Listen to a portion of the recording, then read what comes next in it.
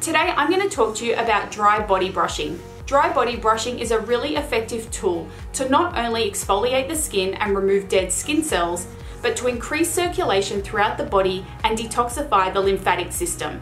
Now, just as the name suggests, dry body brushing is performed on dry skin, which makes it really easy to do before you jump in the shower.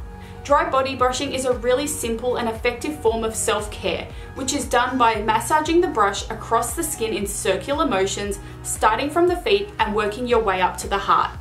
Now it's natural to feel a tingling sensation as you move the brush across the skin.